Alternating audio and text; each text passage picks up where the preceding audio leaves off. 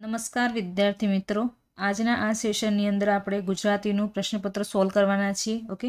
અને અહીંયા પ્રશ્નપત્ર વન છે, ગાલા અસાઇનમેન્ટની અંદર. એ પ્રશ્નપત્ર આપણે જોવાના છીએ ત્રણ કલાકનો તમને સમય આપવામાં આવ્યો છે. ટોટલ એસી માર્ક્સનું પેપર હોય છે, તમને ખબર છે, ઓકે? અહીંયા ચાર સેક્શન છે, દરેકના વીસ માર્ક્સ છે.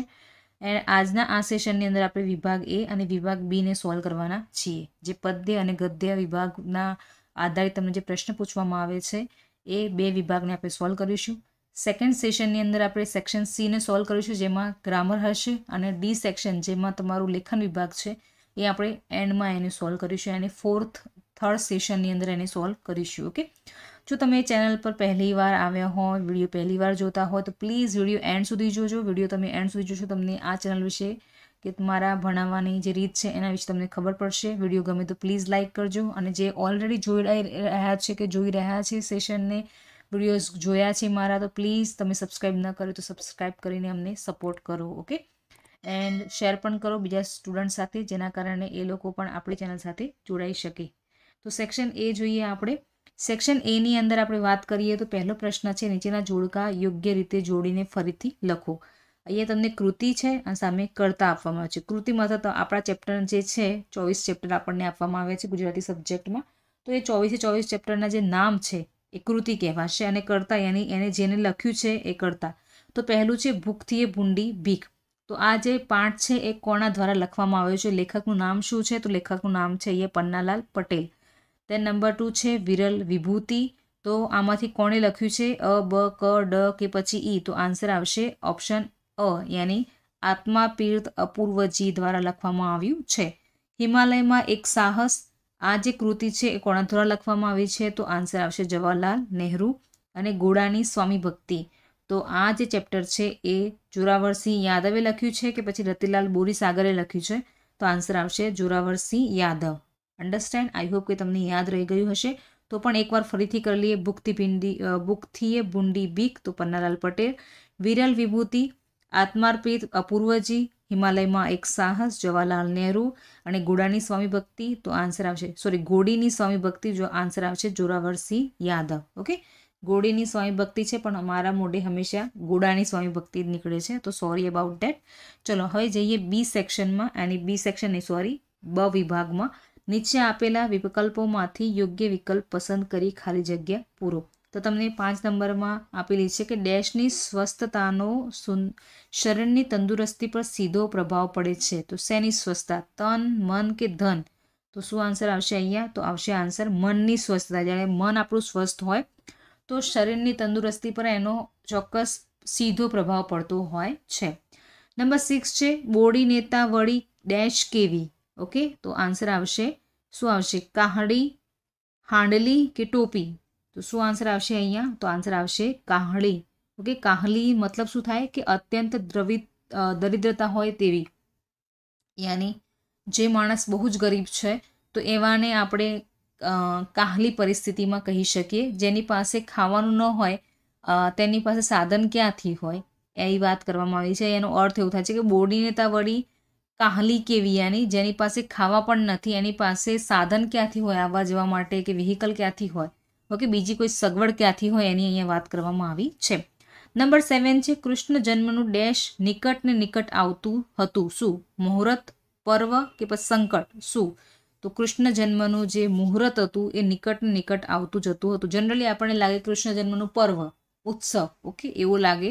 પણ જ્યારે ટેક્સ્ટબુકની આપણે વાત કરીએ ટેક્સ્ટબુકની અંદર આપણને કૃષ્ણ જન્મનું જે મુહૂર્ત છે એ નિકટ ને નિકટ આવતું જતું હતું એવું અહીંયા સેન્ટેન્સમાં લખવામાં આવ્યું છે. તો આપણે મુહૂર્ત પણ લખી, મુહૂર્ત જ લખીને આવવાનું છે, પર્વ લખતા નહીં. ઓકે?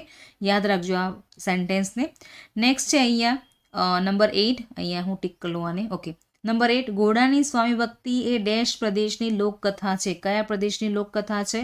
ગોહિલવાડની છે, કાઠિયાવાડની છે કે ઢાલગરવાડની છે? તો ઘોડા, ઘોડીની સ્વામી ભક્તિ જે આત્મકથા સોરી લોકકથા છે. એ કયા પ્રદેશની લોકકથા છે? તો અહીંયા આવશે ગોહિલવાડની લોકકથા છે. ઓકે? અહીંયા સુધી યાદ રાખજો. અમુક પ્રશ્નો જે છે તમારી ટેક્સ્ટબુકની લાઇનમાંથી પૂછે જ્યારે ચેપ્ટરની લાઇન હોય ને ત્યાંથી પણ પ્રશ્નો કાઢવામાં આવે છે, તો તમારે એ વસ્તુ યાદ રાખવાની છે કે જ્યારે તમે વાંચતા હોય ત્યારે તમે ધ્યાનથી વાંચો ચેપ્ટરને. અને ચેપ્ટરને પ્લીઝ વાંચો. ઓનલી આન્સર્સને રટ્ટો મારવાથી કંઈ નહીં થાય. અમુક જે રોકડિયા માર્ક્સના જે પ્રશ્નો છે જે સીધા એક માર્ક્સ આપી શકે આ જે પ્રશ્નો છે એ ટેક્સ્ટબુકની જે તમારા ચેપ્ટરના જે સ્ટોરી છે, જે વાર્તા છે, એની અંદરથી પૂછવામાં આવતા હોય છે. ચલો આગળ જઈએ. નીચે આપેલા પ્રશ્નોના એક વાક્યમાં ઉત્તર લખો. પહેલું છે નાઇન નંબર ભારતમાં ગંદકીથી ભારે ખલેલ પામનાર સંત કોણ હતા? તો આન્સર આવશે, ભારતમાં ગંદકીથી ભારે ખલેલ પામનાર સંત વિવેકાનંદ હતા. સ્વામી વિવેકાનંદ જે હતા, એમનું નામ લખવાનું છે. નંબર ટેન છે, મનીષાના પપ્પાનો આનંદ ખરેખર શેના કારણે હતો? તો શું ઉત્તર આવશે? મનીષાના પપ્પાનો આનંદ ખરેખર મનીષા ક્યારેક ડરપોકમાંથી બહાદુર બની હતી એ વાતનો હતો, ઓકે? મનીષાના પપ્પાનો આનંદ કઈ વાતમાં હતો કે મનીષા ડરપોકમાંથી બહાદુર બની હતી, રીંછના હુમલાથી એને એક સુરતી કુટુંબને બચાવ્યું હતું, એ વાતનો એમને ખરેખર આનંદ હતો, ઓકે?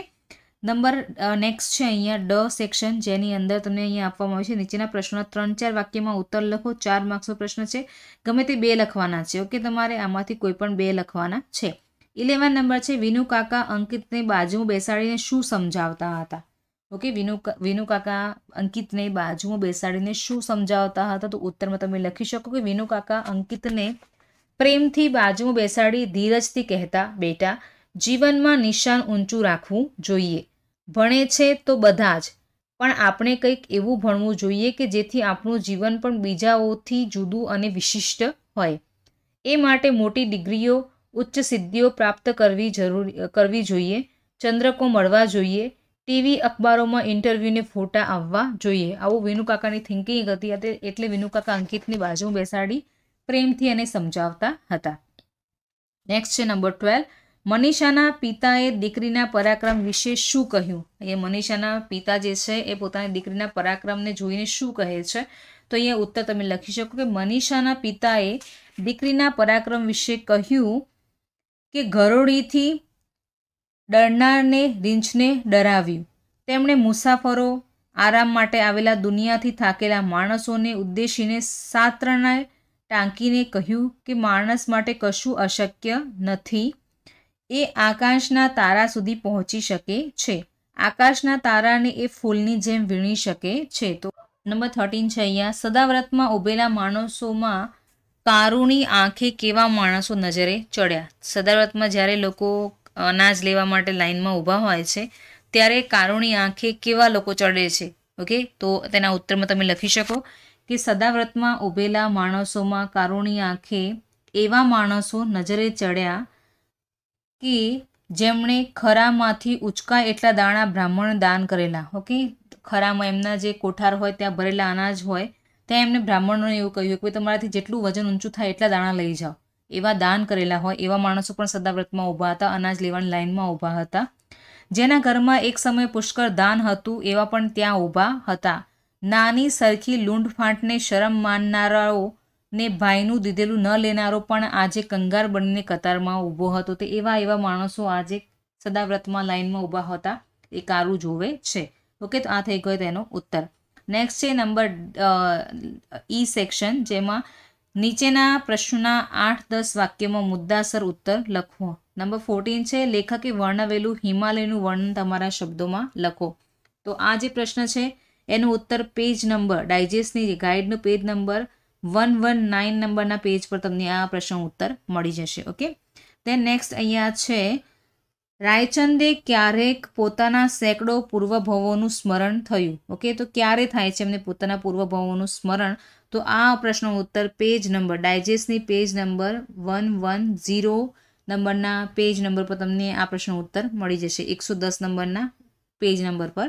અને સોળ નંબરનો છે, લેખકને અંકલેશ્વર શા માટે પ્રિય છે? તો આ જે પ્રશ્ન છે, એનો ઉત્તર પેજ નંબર ફિફ્ટી સિક્સ, યાની છપ્પન નંબરના પેજ ઉપર, ગાઈડની છપ્પન નંબરનો જે પેજ છે ડાયજેસ્ટને ત્યાં તમને આ પ્રશ્નનો ઉત્તર મળી જશે, ઓકે?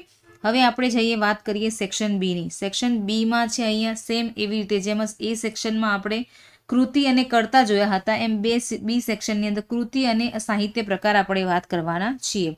શીલવંત સાધુને જે કાવ્ય છે, એનો પ્રકાર શું છે, એનું સાહિત્ય પ્રકાર શું છે, તો એ છે ભજન. તો શીલવંત સાધુને તો આવશે ભજન. શિકારીને આ જે છે કાવ્ય, એ ઉર્મી કાવ્ય છે. અહીંયા ઉર્મી કાવ્ય પ્રકાર આપવામાં આવેલો નથી. તો અહીંયા થોડી મિસ્ટેક થઈ લાગે છે મને પ્રિન્ટિંગમાં તો શીલવંત શિકારીને જે છે, એ ઉર્મી કાવ્ય છે. દિવસો જુદાઈના જાય છે. આ એક ગઝલ છે. તો આ રહ્યું ગઝલ અ એન્ડ કુલદીપ થાવું કઠિન ઓકે? કુલદીપ થાવું કઠિન આવું કોઈ ચેપ્ટર છે જ નહીં પાઠમાં. ઓકે તો આપણે કૃતિ આપણને નથી આપી, પણ તમને એ ખબર છે કે દુહા મુક્તકના હાઈકુ જે છે લાસ્ટમાં આપણું ચેપ્ટર છે, એમાં એક દુહો છે કે કુલદીપ થાવું કઠિન, દેશ દીપક દુર્લભ જગદીપક જગદીશના, એ અંશી કોક અલભ્ય. ઓકે તો અહીંયા કુલદીપ થાવું કઠિન એક દુહો છે, એટલે દુહો અહીંયા આપવામાં આવેલું છે. તો આ વસ્તુ યાદ રાખજો. ફરીથી એકવાર રિપીટ કરું છું. શિલવંત સાધુને એક ભજન, શિકારીને આ એક ઉર્મી કાવ્ય છે, એનો પ્રકાર આપણને આપવામાં આવ્યો નથી. દિવસો જુદાઈને જાય છે આ એક ગઝલ છે અને કુલદીપ થાવું કઠિન એક દુહો છે. આ વસ્તુ યાદ રાખજો. તમે જોયું ને અહીંયા કે અહીંયા ચેપ્ટરનું નામ તમને અહીંયા કુલદીપ થાવું કઠિન આપ્યું છે. તમે વિચાર પડી જશો કે કુલદીપ થાવું કઠિન એવું તો કોઈ ચેપ્ટર છે જ નહીં અહીંયા. પણ એવો એક આપણને દુહો આપવામાં આવ્યો છે. તો યાદ રાખજો, આવી રીતે પણ ટ્વિસ્ટ કરીને પૂછતા હોય છે પ્રશ્નો. નેક્સ્ટ છે અહીંયા. બ જે પ્રશ્ન છે, એમાં નીચે આપેલા વિકલ્પોમાંથી યોગ્ય વિકલ્પ પસંદ કરી ખાલી જગ્યા પૂરો. તો કઈ કઈ ખાલી જગ્યાઓ છે? આપણે જોઈ લઈએ. ચાર માર્ક્સનો પ્રશ્ન છે. પહેલું છે, ભણે નરસૈયું તેનું ડેશ કરતા કુર ઇકોતેર તાર્યા રે. તો શું આન્સર આવશે? ભણે નરસૈયો તેનું ભજન કરતા કુલ ઇકોતેર તાર્યા રે. રાત રાણી ડેશથી નહાય છે. શેનાથી? પવનથી, ઝાકળથી કે સુગંધથી? તો અહીંયા આન્સર આવશે રાત રાણી ઝાકળથી નહાય છે. રહેવા દે રહેવા દે આ ડેશ યુવાન. તો શું આવશે આન્સર? સંહાર, બનાવટ કે પછી કપાટ? તો અહીંયા આન્સર આવશે, રહેવા દે રહેવા દે આ સંહાર યુવાન. ઓકે? દેન નેક્સ્ટ છે, ડેશ બનવું દુર્લભ છે. શું? કુલદીપક, દેશદીપક કે પછી વીર? આ પણ એ જ દુહામાંથી પ્રશ્ન લેવામાં આવ્યો છે. કુલદીપ થાવું કઠિન, દેશદીપક દુર્લભ. યાની દેશદીપક બનવું દુર્લભ છે. ઓકે? તો દેશ દીપક બનવું દુર્લભ છે અહીંયા? આન્સર આવી ગયો. તમે જોયું ને, દુહા મુક્તક હાઈકુ જે ચેપ્ટર આપણે, એવું લાગે કે ભાઈ આમાંથી તો કશું એટલું બધું ઇમ્પોર્ટન્ટ નથી કરતા તો એનું એક્સરસાઇઝ બહુ નાનું છે, સ્વાધ્યાય બહુ ટૂંકું છે ઇઝીલી તૈયાર થઈ જશે. પણ તમને જો દુહા યાદ ના હોય, કે એના જે અંદરના જે શબ્દો છે યાદ નહીં હોય, તમે આ પ્રશ્નના ઉત્તર લખવામાં તમને મિસ્ટેક કરી જ આવશો. સો ટકા મિસ્ટેક કરશો. નેક્સ્ટ છે અહીંયા ક સેક્શન જોઈએ આપણે. ક વિભાગ, કે નીચે આપેલા પ્રશ્નોના એક વાક્યમાં ઉત્તર લખો. બે માર્ક્સનો પ્રશ્ન છે, દરેકનો એક માર્ક્સ છે. મોહમાયા કોને સ્પર્શી શકતા નથી તો ઉત્તર આવશે, મોહમાયા વૈષ્ણવજનને સ્પર્શી શકતા નથી. ટ્વેન્ટી સિક્સ નંબરનો પ્રશ્ન છે, કવિની દ્રષ્ટિએ ભારવાળો મુગટ એટલે શું? તો કવિની દ્રષ્ટિએ ભારવાળો મુગટ એટલે જવાબદારી વાળું જે મુગટ છે જવાબદારીવાળું જે કામ છે, એ ભારવાળો મુગટ કહેવાશે. આ પણ તમને દોહામાંથી જ, જે દોહા મુક્તક હાઈકુ છે, એ ચેપ્ટરમાંથી જ પ્રશ્ન પૂછવામાં આવ્યો છે. ઓકે? નેક્સ્ટ છે, નીચે આપેલા પ્રશ્નના ત્રણ ચાર વાક્યમાં ઉત્તર લખો. પહેલું છે શિલવંત સાધુને કાવ્યની કવિયત્રી વારંવાર નમવાનું કહે છે. શા માટે? ઓકે શિલવંત સાધુને કાવ્યની કવિયત્રી વારંવાર નમવાનું કહે છે. તો એ શા માટે આપણને વારંવાર નમવાનું કહે છે? એના વિશે આપણે અહીંયા લખવાનું છે. તો ઉત્તરમાં આપણે આ રીતે લખી શકીએ. શિલવંત સાધુમાં આદર્શ સંતના તમામ ગુણો હોય છે. એના ચિત્તની વૃત્તિ પરમાત્મામાં લીન હોય છે. ગમે તેવી પરિસ્થિતિમાં પણ એના વર્તનમાં કોઈ ફેર પડતો નથી. આવા સંત પર જ પરમાત્માની કૃપા વરસે છે. આથી કવિયત્રી શિલવંત સાધુને વારંવાર નમવાનું કહે છે. ઓકે? તો આ આપણે એનો ઉત્તર હતો કે એવા જે શિલવંત સાધુ હોય છે, એમની જે એમની વૃત્તિ હોય છે, પરમાત્મામાં લીન હોય છે, એમને બીજી કોઈ જગ્યાએ કોઈ વસ્તુમાં ઇન્ટરેસ્ટ હોતો નથી. એ ગમે તેવી પરિસ્થિતિમાં એમનું વર્તનમાં કોઈ પરિવર્તન આવતું નથી. આપણું વર્તન કેવું હોય છે કે કોઈ પરિસ્થિતિ ચેન્જ થાય તો આપણે સીધું વર્તન બદલાઈ જાય આપણા અંદર ગુસ્સો પણ હોય છે, આપણે અંદર ઈર્ષા છે, દ્વેષ છે, પણ શીલવંત સાધુની અંદર ઈર્ષા દ્વેષ જેવું હોતું નથી. આવા સંત પરમાત્માની આવા જે સંત હોય છે, એમની ઉપર જ પરમાત્માની કૃપા વરસતી હોય છે અને એ રીઝનથી આપણે એમને વારંવાર નમવું જોઈએ ઓકે નેક્સ્ટ પ્રશ્ન છે, કાવ્ય પંક્તિ સમજાવો. પ્રાણમાં જલન હોય ને તોય ધારીએ શીતલ રૂપ ઓકે કાવ્ય પંક્તિ શું છે કે પ્રાણમાં જલન હોય ને તોય ધારીએ શીતલ રૂપ? તો આના ઉત્તરમાં તમે લખી શકો કે પ્રસ્તુત પંક્તિ ભાવક આપણને ઉદ્દેશીને લખાઈ છે. આપણું હૃદય દરેક પળે એક સરખી સ્થિતિમાં હોતું નથી. આપણે બળતરા, દાજ, ગુસ્સો, ક્રોધ અનુભવતા હોઈએ છીએ. અને કવિ કહે છે કે આપણને એ અનુભવના અગ્નિથી સતત દાજતા હોઈએ તો પણ વિવેક અને સહનશીલતા કેળવીને એનો અણસાર સુદ્ધા કોઈને આવવા દેવો ન જોઈએ. ઓકે, અહીંયા કવિ એ જ વાત કરે છે કે ચંદન જેમ ઘસાય તેમ સુગંધ આપે છે. આપણે સહેજ પણ મગજ ગુમાવ્યા વિના આપણું કાર્ય કરતા રહેવાનું છે. આપણા વાણી તેમજ વર્તન વિરોધાભાસી ન હોવા જોઈએ. અમુક લોકો એવા હોય છે કે સામે તમને સારું સારું બોલે, પણ મન હી મન તમારા માટે ઈર્ષા એમની અંદર હોય છે, તો એવું વાણી વર્તન વિરોધાભાસી ન હોવા જોઈએ.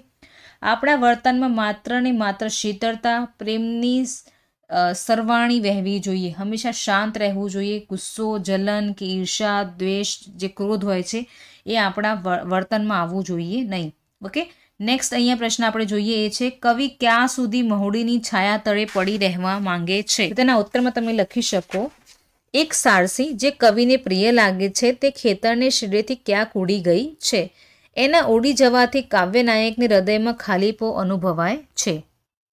એમને જીવનમાંથી રસ ઉડી ગયો છે. પોતે નિષ્ક્રિય થઈને જીવનના અંત સુધી મહુડીની છાય તળે પડી રહેવા માંગે છે. તો આ થઈ ગયો તમારો ટ્વેન્ટી નાઇન નંબરનો પ્રશ્ન. આઈ હોપ કે તમને અહીંયા સુધી ખબર પડી ગઈ હશે. હવે નેક્સ્ટ છે થર્ટી નંબર ત્રીસ નંબરનો પ્રશ્ન આપણે જોઈ લઈએ કે દીકરી કાવ્યનો મધ્યવર્તી વિચાર સ્પષ્ટ કરો. તો આ પ્રશ્ન ઉત્તર તમને પેજ નંબર થર્ટી ટુ બત્રીસ નંબરના ડાયજેસ્ટના ગાઈડના પેજ નંબર બત્રીસ પર તમને આ પ્રશ્ન ઉત્તર મળી જશે. કવિ શિકારીને કઈ શિખામણ આપે છે? તો આ પ્રશ્નનો ઉત્તર પેજ નંબર સિક્સટી થ્રી અને ત્રેસઠ નંબરના પેજ પર તમને આ પ્રશ્નનો ઉત્તર મળી જશે. અને વતનથી વિદાય થતાં કાવ્યની વેદના તમારા શબ્દોમાં વર્ણવો, તો આ પ્રશ્નનો ઉત્તર પંચોતેર નંબરના ગાઈડના પેજ નંબર પર તમને આ પ્રશ્નનો ઉત્તર મળી જશે. તો આ થઈ ગયા તમારા બધા જ એ અને સી સોરી, એ અને બી બંને સેક્શનના પ્રશ્નો. આઈ હોપ કે તમને આ વીડિયો ગમ્યો હશે. વીડિયો ગમ્યો હોય તો પ્લીઝ લાઇક કરો, કમેન્ટ સેક્શનમાં તમારું નામ, વીડિયો કેવો લાગ્યો તે પણ લખજો. બીજા સાથે શેર કરો અને ચેનલને સબસ્ક્રાઇબ કરવાનું ભૂલતા નહીં. મળીશું નેક્સ્ટ સેશનમાં નવા વીડિયો સાથે. ત્યાં સુધી take care all of you. Bye. Thank you.